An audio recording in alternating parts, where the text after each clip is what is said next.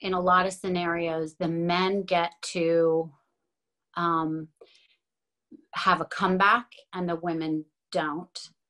Um, and, you know, I don't necessarily want to make this a man versus a woman sure. thing, but in a lot of situations, the women get stuck with a stigma and cannot get away from it. I mean, what are you most then looking forward to when people watch this documentary and listen to what you have to say? What are you most looking forward to them finding out about your story?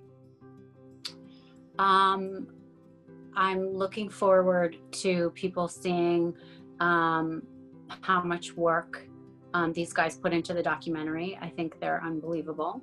Um, and I'm also really looking forward to people um, seeing the role that the media played mm. um, in blaming other people. I'm looking forward to to people seeing the role of the media. Yeah. Do you feel do you feel like the media put most of the blame on you?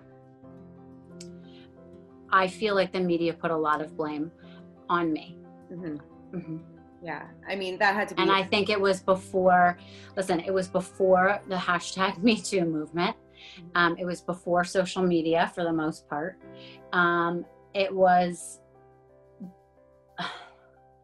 I, I think people forget how badly I was treated yeah. and um, the things that people really did for to me and that I couldn't go anywhere and I was blamed for a lot of stuff and I still um, for 10 years I've lived with that same scrutiny. I cannot go places without people still talking to me that same way. I, I don't think people really realize that, that I'm still uh, treated that same way. And people act like um, that was 10 years ago. Mm-hmm. It, people don't treat me much different. I'm not sure why, um, in a lot of scenarios, the men get to um, have a comeback and the women don't. Um, and you know, I don't necessarily want to make this a man versus a woman sure. thing, but in a lot of situations, the women get stuck with a stigma and cannot get away from it, and um, and the and they just get pigeonholed in this thing, and the the comments of homewrecker, mistress, um, slut, whore, and the blame just get put on you, and you can't get away from that and for 10 years i haven't been able to get away from that. And um, uh, I, I, frankly the only um, you know uh, people that need to be apologized to are a very small group of people. It's two people right? Um, so yet the world wants to blame me. And it's a very interesting thing um, to have hatred from people that i've never personally heard right and I've never personally met, and these people haven't personally met me. So it's a very interesting thing to have such uh, strong opinions about me from people that don't know me, but people act like they know me.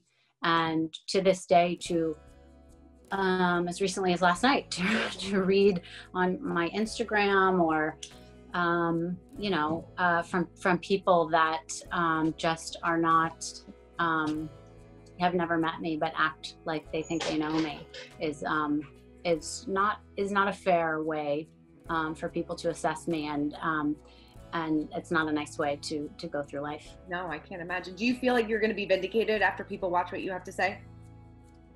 Um, no, I mean, um, but I needed to speak for me. You know, it's it's one way to get the shackles off of um, me you know it's it's one way for me to get rid of the shame right? Um, and for me to feel like i get to speak regardless of what people think. Mm-hmm. um, so it was for me that's quite frankly. Yeah.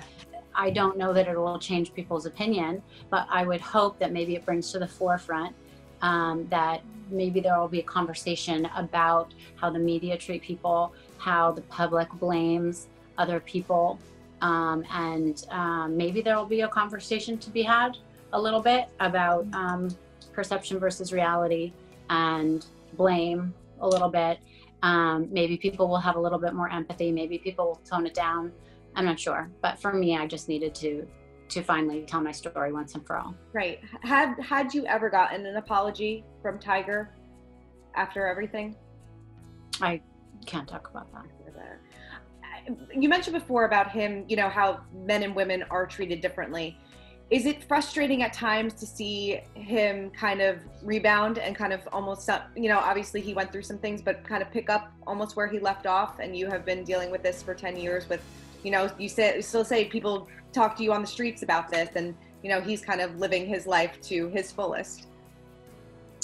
Um, I'm, I'm I'm not going to talk about him specifically, but I will talk about that. Um, you know, it's it's a very common thing to see that um, you know uh, men in situations tend to get to move on very quickly, and yeah. women, um, you know, never get to to move on. They always seem like they have a much harder time moving on, and it is hard that the men get to have the comebacks very easily, and the women um, always in most situations seem to be the ones that get the stigma. Yeah. And I won't speak for other people, I will speak for me sure. that people have um, not let it go with me. Um, and I find that in for 10 years, I have been um, labeled as as these names, and it was finally time for me to stand up uh, to the media, to the um, public,